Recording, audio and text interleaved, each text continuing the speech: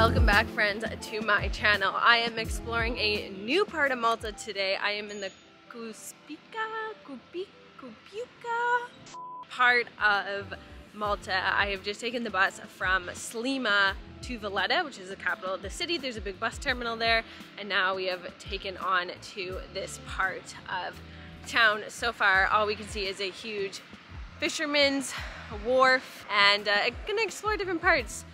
Doing a little research, we did see that there was grass fields here, and on the bus there was a little nugget of a fella going for his Sunday morning soccer practice. And we also saw a golf course, which just seems like the most odd thing because yesterday I was just saying how I missed grass in Malta, grass fields. So maybe we will find that today. But before we get started, subscribe to the channel, like this video below, and let's start exploring.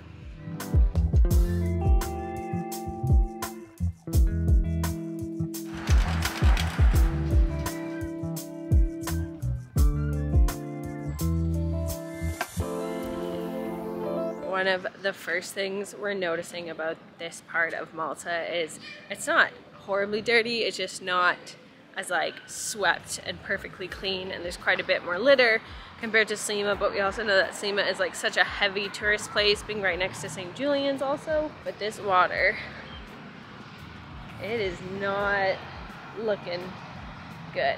It's not looking good pal. Quite stale. Is that a jellyfish or is that a plastic bag? There's grass though.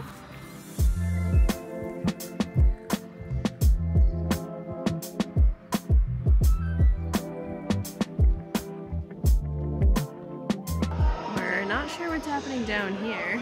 Some kind of celebration at the marina.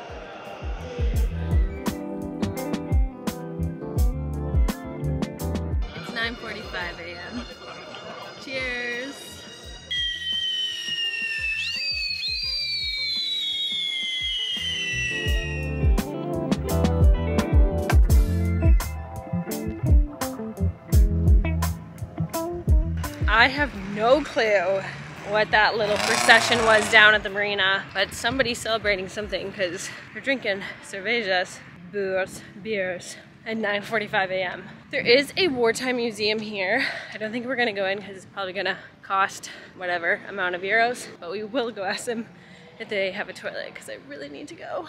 If that's too much information, too bad. It's part of the travel journey. We got on the bus around like 8.30 and I had a coffee right before. Bad idea.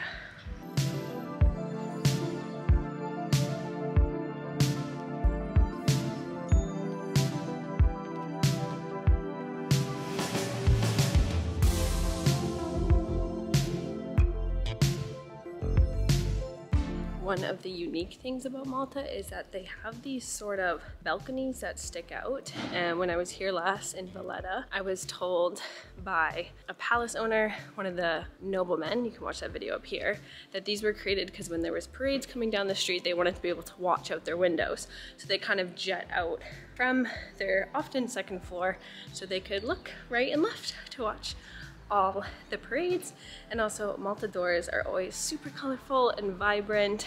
It's kind of a signature of this country. It's gorgeous. By the way, no luck with the wartime museum bathrooms. We're still just walking around, trying to find a coffee shop even. It's not working out. This is where I begin to panic.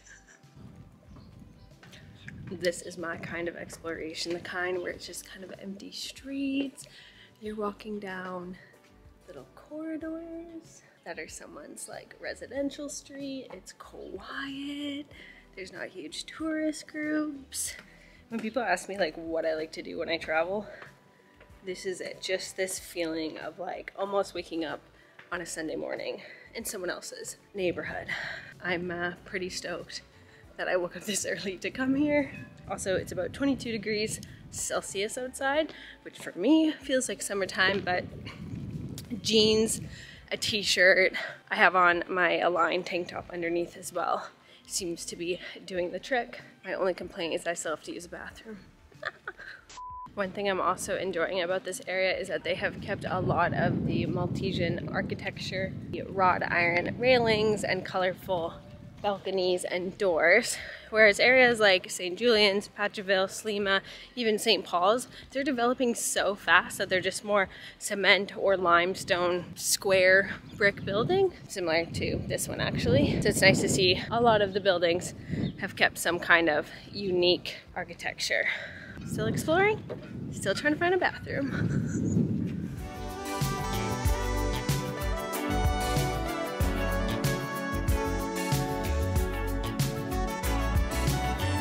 Thanks to the lovely receptionist at Esplora, the Malta Science World here in Bingi. Probably mispronouncing that. They let me use their washroom. So go check it out. It looked really cool.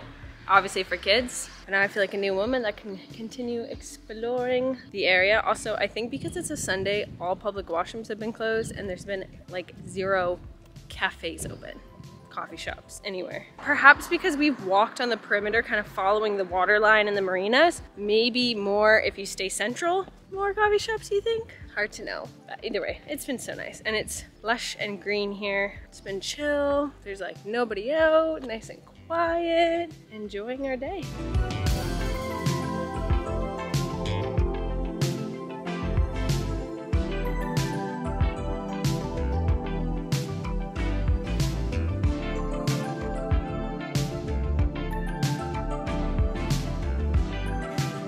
Friends, we had to basically run for the bus coming out of Kalkara and the Binju area because we couldn't find the bus that was going towards Valletta. Anyway, we found it. We're back in Valletta, which is kind of a transfer station, a terminal, as I mentioned before, but that's going to conclude our day exploring. We're going back to Sliema to hang out and chill. Thank you so much for watching. Subscribe to my channel. One guy's totally laughing at me as I say this. But anyway, hope you have a good one. Definitely worth an exploration of a nice chill day and we'll see you later.